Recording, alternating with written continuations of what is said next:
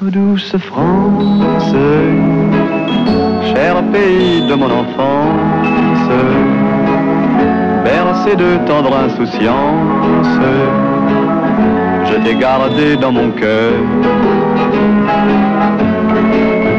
Mon village,